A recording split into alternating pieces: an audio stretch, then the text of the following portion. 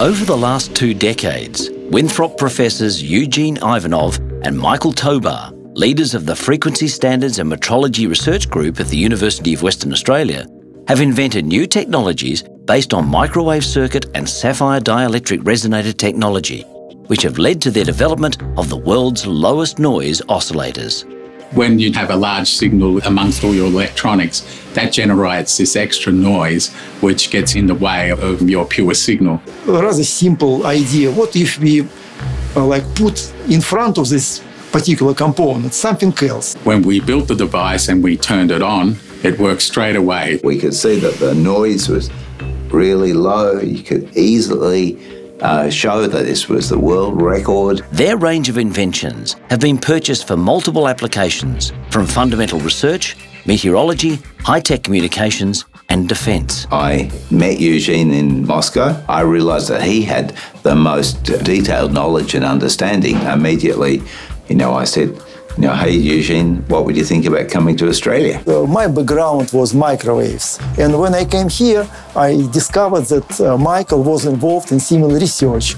Eugene and I were working on the gravitational wave detector, and this gravitational wave detector used an interferometer in a different way than um, we now use in the oscillators. So the light bulb moment came when it was realized that this interferometer could be used in the oscillators to create pure signals. The professor's research projects, which began in the early 1990s, were supported by technology company Poseidon Scientific Instruments Proprietary Limited, PSI, with the help of eight collaborative research grants from the Australian Research Council to the value of $5 million. We realised that these sapphire oscillators could be fantastically useful. And we then got in contact with people like Jesse Searles at Poseidon Scientific Instruments, who was interested in making the best radars. If you have good radar, it means that potentially your plane can see so-called clear air turbulence and pilots they can avoid falling into this uh, type of uh, trap. Along with their world-leading low-noise oscillation technology, Ivanov and Tobar's research has resulted in other breakthroughs, including the invention of microwave oscillators with interferometric signal processing phase noise performance more than 1,000 times better than what could be achieved previously. Some of my colleagues, they come up with the idea of uh, dielectric resonators.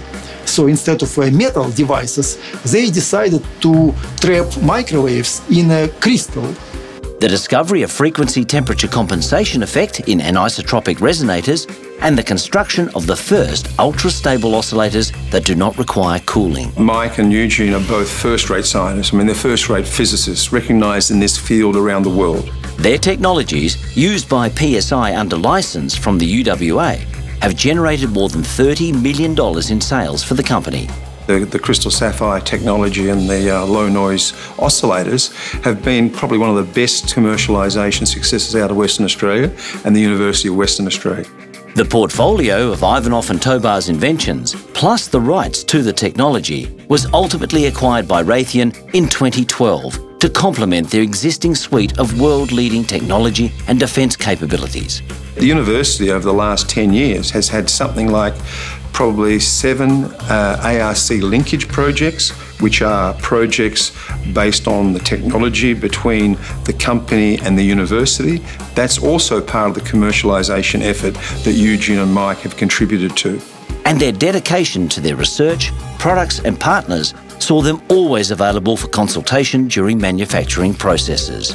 We keep using this technology extensively in our lab because precision measurements uh, it's something people start uh, paying attention uh, recently uh, worldwide. An ongoing research team ivanov and tobar have remained partners over multiple projects and years demonstrating a remarkable effort in research and innovation proving their high level of scientific and personal persistence